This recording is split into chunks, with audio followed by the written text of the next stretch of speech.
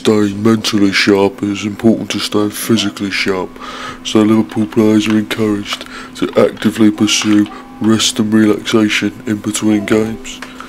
Liverpool's Uruguayan striker Luis Suarez is no exception as he relaxes with a nice game of scr- No, Jesus Christ, Luis, no, don't put that head. What? Oh, okay, fair play. ¿Qué es la Sorry, carry on. carry on.